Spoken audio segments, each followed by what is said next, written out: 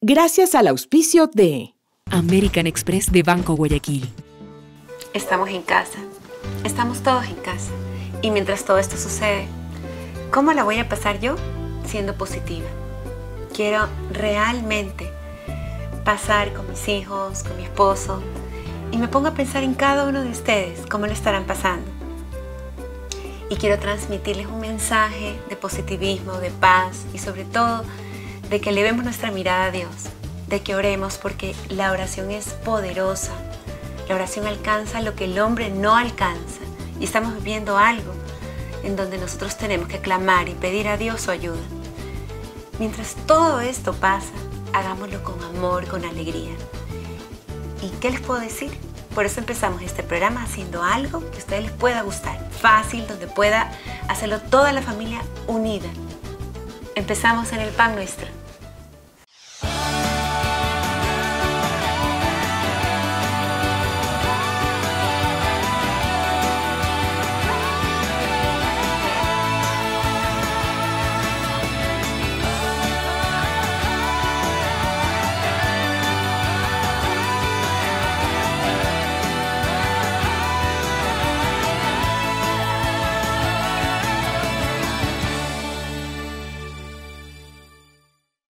Escogí las crepes porque me parecen súper divertidas. A los niños les fascinan, les encanta. Sirven para desayuno, para almuerzo, para cena, para lo que ustedes quieran, hasta para un snack. Pueden hacer las crepes de la forma que ustedes prefieren y con el relleno que se les antoje. Vamos a comenzar. Voy a hacerles yo la receta, así como me la enseñó mi profesora Marta Robán en París y me dijo, primero pon siempre los huevos. Cuatro huevos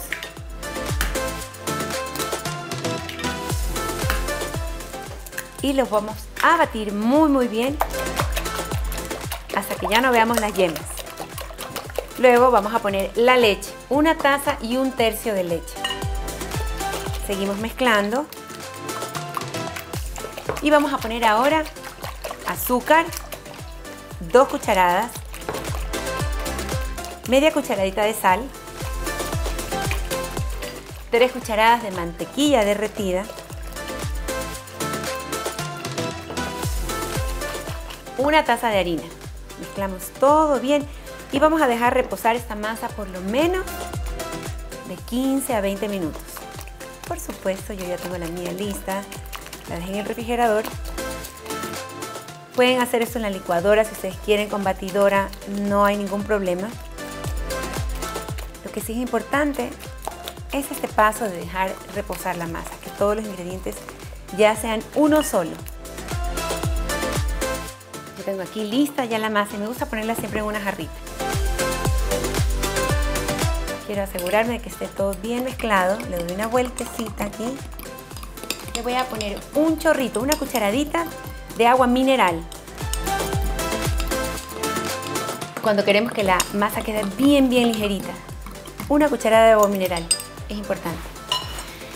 Una vez que está bien caliente el sartén, vamos a coger una medida de un tercio de taza llenamos y ponemos en nuestra sartén bien caliente.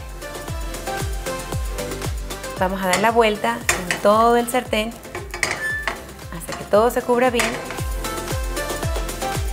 Vamos a ir despegando siempre los bordes.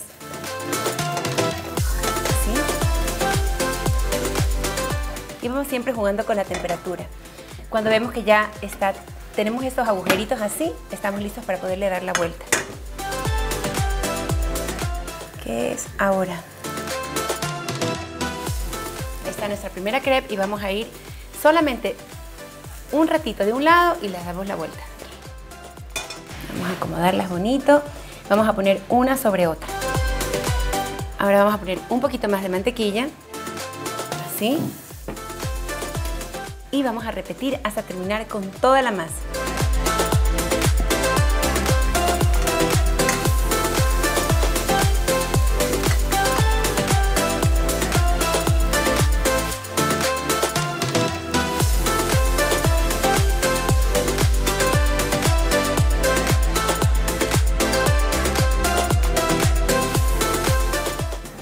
Un ratito para poderle dar la vuelta. Ya ven que está todo, todos estos huequitos, podemos darle la vuelta fácilmente. Y vamos por dos. 10 segundos y las retiramos. Y así seguimos hasta terminar todo. Yo me demoro más en hacerlas que mis hijos en comérselas, imagínense.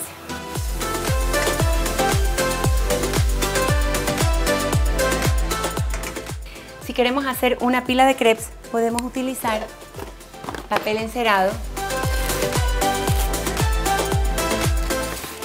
y hacemos esto. Ponemos unos pedacitos aquí para separarlos. Y así no se nos pegan. Listo. Voy a darle la vuelta a esta. Ya está lista. No hay cómo descuidarse porque se comienzan a dorar demasiado.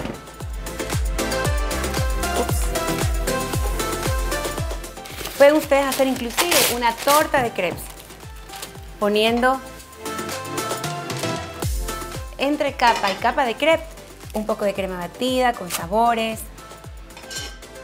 Hay unas recetas muy muy ricas para hacer estas tortas de crepes.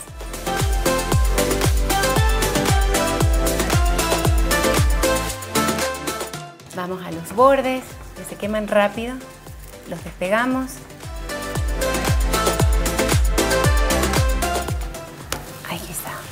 Más. La pasamos para acá.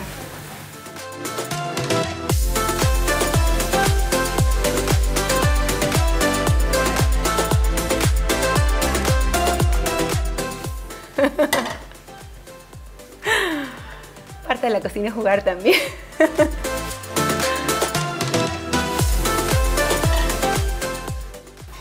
estamos listas con los crepes. Nos vamos a hacer ahora el relleno. Vamos a empezar por el relleno de champiñones. Riquísimo, fácil y yo sé que van a sorprender a todos sus amigos. Vamos a dar la vuelta a la última y nos vamos a un corte.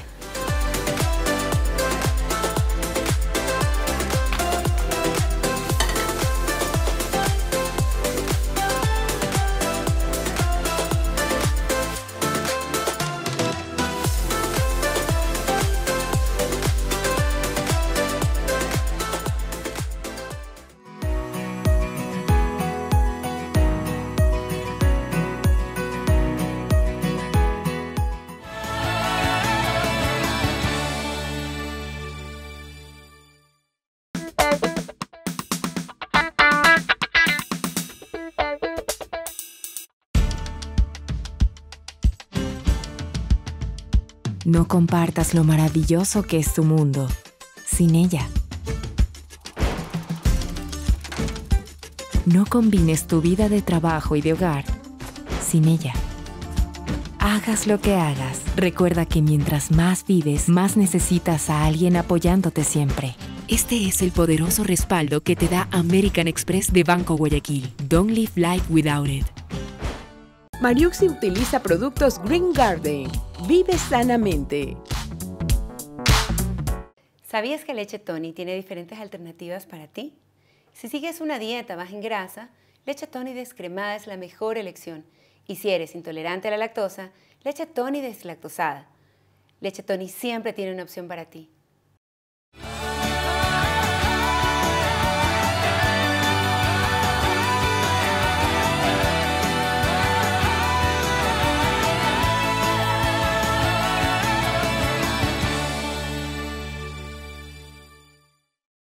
Hay ciertos tips que ustedes pueden hacer en este tiempo que también no solamente son eh, buenos para prevenir cualquier virus o cualquier enfermedad, pero también son buenos porque también llegan al corazón. Por ejemplo, los tecitos calientes, un té de jengibre con una rodajita de limón, un poquito de miel de abeja, les va a venir bien a todos. Un tecito con unas tajaditas de manzana caliente va a relajarnos mucho. Las agüitas de cedrón, de menta, hagamos agüitas calientes.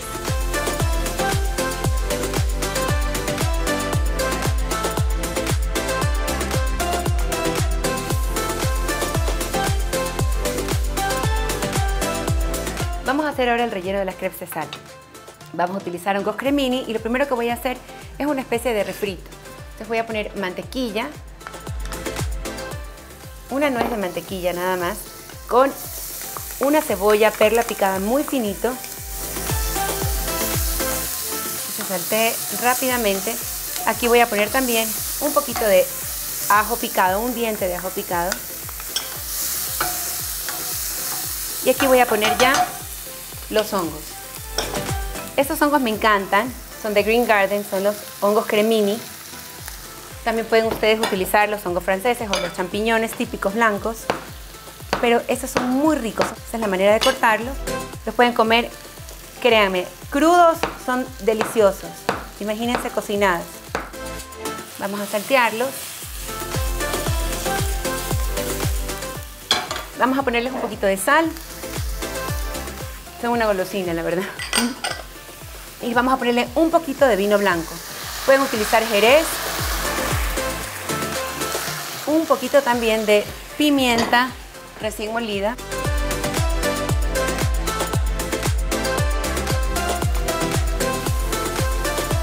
Vamos a dejar que el vino se reduzca a la mitad. Y cuando eso pase, le vamos a poner crema de leche. Una media tacita de crema de leche. Mientras tanto voy a listar yo donde voy a hacer mis crepes. Les quería decir que estas crepes, que ustedes las, separan con papel, eh, este papel de manteca, ustedes las pueden enrollar de esta manera. Las ponen en una funda selladas de Ziploc o en papel film y las pueden congelar. Y las sacan cuando les vayan a necesitar, simplemente las abren ya están listas para usarse. Las dejan solo que se descongelen unos 10 minutitos y están listas. Y aquí en este líquido voy a poner harina, unas dos cucharadas, y vamos a tratar de que se disuelva bien, bien en toda esta salsa. ¿Por qué vamos a hacer este rush? Porque es necesario que cuando rellenemos la crepe no tengamos líquidos sueltos y se nos vayan a mojar las crepes. Y ponemos ahora sí la crema. Disolvemos todo bien y nuestra salsa nuestro relleno está listo. La harina va a absorber cada sabor que hemos puesto en el sartén. Vean. Y va a quedar una crema. Ahora sí puedo poner yo queso. Escojan un queso que sea que se funda bien en el calor. He escogido un dambo de Zuleta, que es muy rico. Mm. Mi relleno para la crepe está listo. Cogemos una crepe, con una cuchara rellenamos, cogemos un poquito de este relleno, unas tres cucharadas. Vamos a doblar siempre las puntas primero, luego los costados y ahora cogemos un recipiente de horno, las ponemos aquí las cubrimos de queso y le ponemos un poco del hongo que reservamos.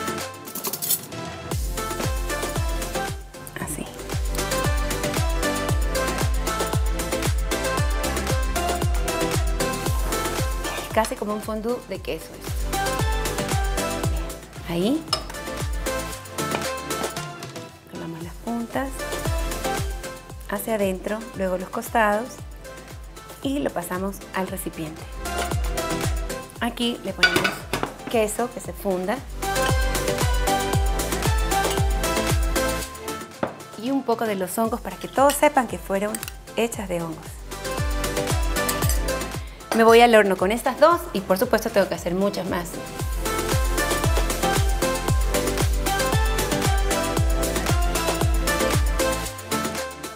Las pueden hacer así individuales o también las pueden hacer en una sola fuente. Pueden ponerle si quieren un poco de salsa blanca y encima el queso. Son opciones diferentes como para que ustedes puedan utilizarlas en diferentes reuniones o cenas. Pero de todas las formas en que lo hagan le va a quedar delicioso. Tienen que volverse ustedes expertas en hacer crepes. Ustedes, hombres y mujeres.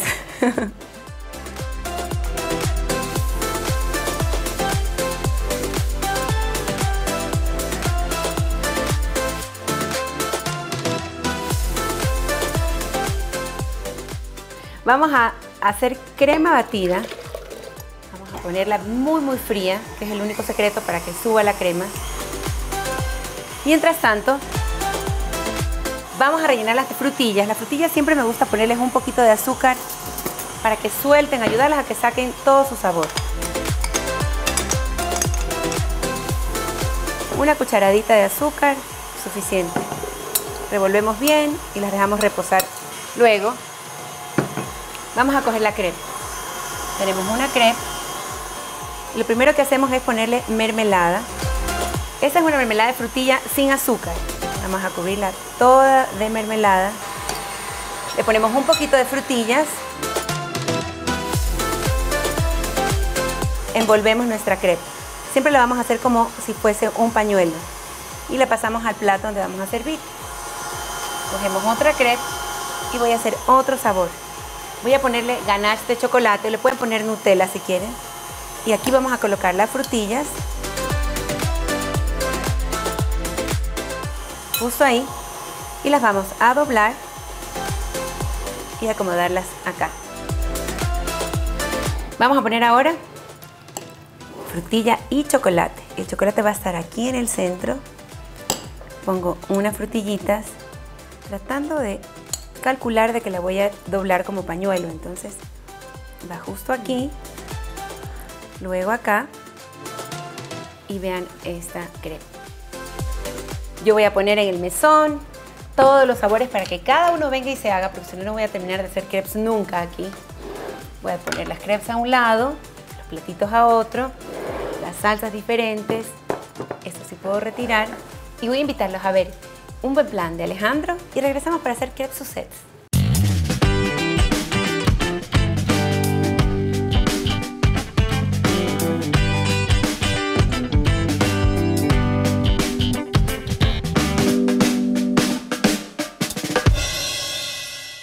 Hoy vamos a conocer una pareja joven, Paul David y Diana, que comenzaron con un pequeño emprendimiento aquí en esta calle tan histórica y tiene apenas dos años.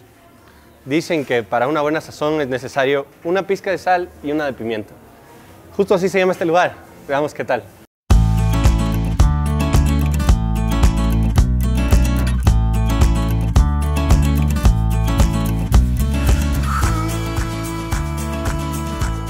Quisiera que me cuentes un poquito cómo comienza la pizca. Escogimos la pizca eh, por dos razones. La una, la pizca significa como que un término gastronómico y lo asociamos con comida ecuatoriana porque es nuestra razón del, del restaurante. Claro, y la pizquita siempre es el toque. La el pizca toque. del sabor.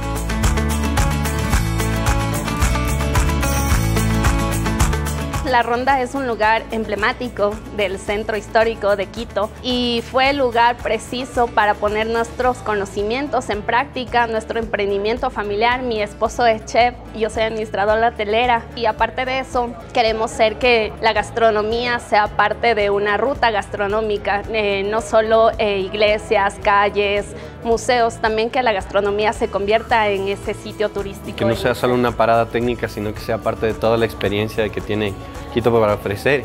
Sí, yo creo que como quiteños y ecuatorianos es un deber de nosotros poder eh, seguir rescatando nuestra gastronomía y que tanto turistas locales como extranjeros puedan deleitarse de nuestro sabor. Vamos a preparar el plato estrella del restaurante que es el seco de chivo. Vamos a necesitar cebolla, ajo, la carne. Vamos a necesitar también achote, el polvo de la casa, laurel, cerveza y pulpa de naranjilla. Vamos a, vamos a comenzar haciendo el refrito.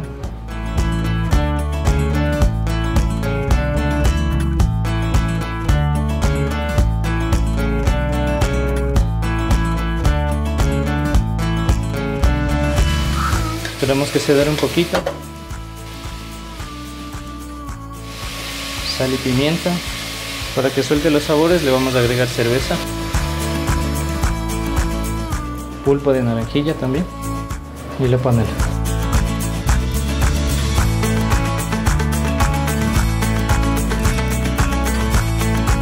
En este momento tenemos listo el seco de chivo.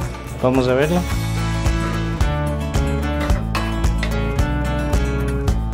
Es tradición aquí en la pizca un campanazo y vienen a ver el plato, ¿verdad? Vamos.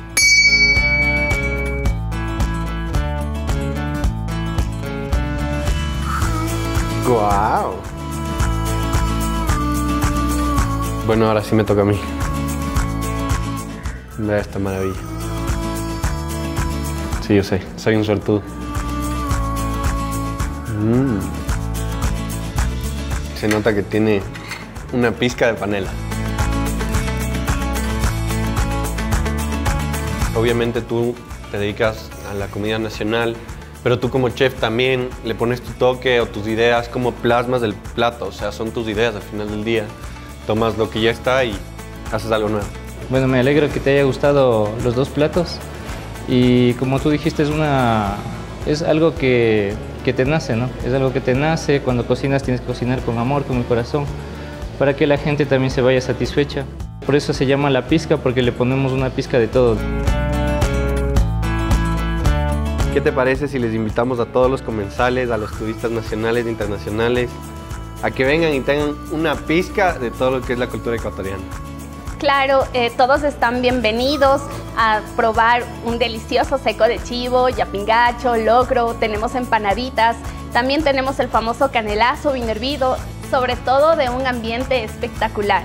Todos bienvenidos a la Pizca Cocina Ecuatoriana aquí en La Ronda. Invitadísimos todos.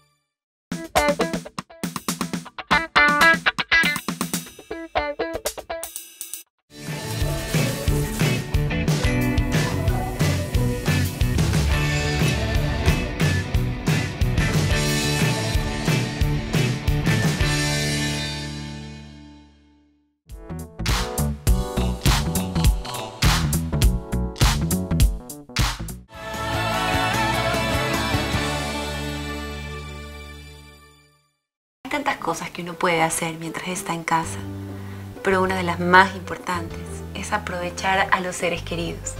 ¿Cuántas veces quisiéramos tener más tiempo? Ahora lo tenemos. Aprovechemos este tiempo. Demos todo el amor que podamos. Tenemos hoy día para amar.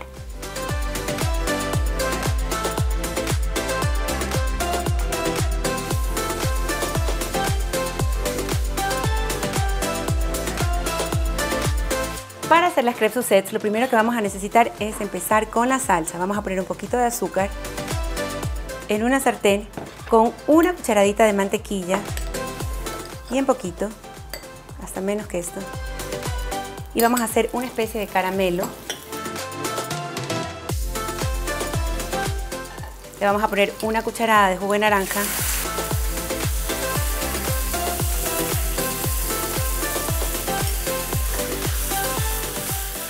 Más.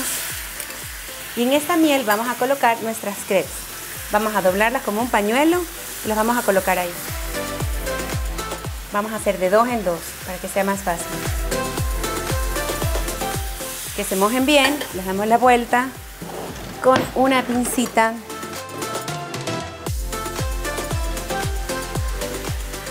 La mezcla del el sabor de la mantequilla con el azúcar es muy rico.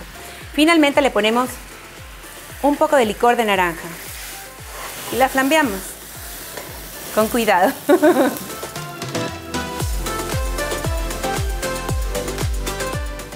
y los vamos a sacar en un plato. Esto es delicioso comerlo así caliente con helado. Ponemos en un platito. Aquí está la una y la otra. Es perfecto servir por lo menos dos. Estamos listos. Vamos ahora a ir poniendo muy bonitos los platos. Vamos a poner con una cucharita un poco de azúcar impalpable en estas otras crepes.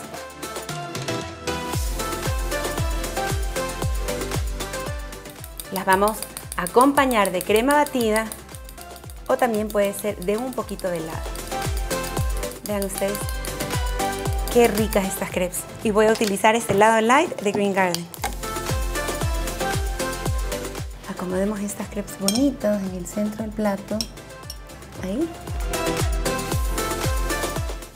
Y vamos a hacer una bonita bola de helado. Tengo una.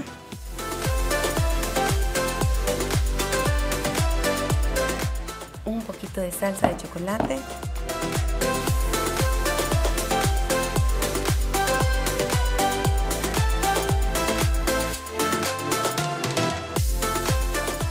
Vamos a poner la crema batida encima de estas crepes. También tengo un pocillo para que se sirvan todos los invitados. Pero ¿qué les parece? Voy a poner estas tres. Una frutillita encima para que sepan que es de frutilla. Otra por acá. Y una más por acá.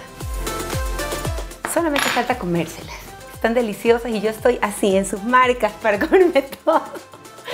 Les mando un beso grande. Gracias por acompañarnos. Hasta la próxima.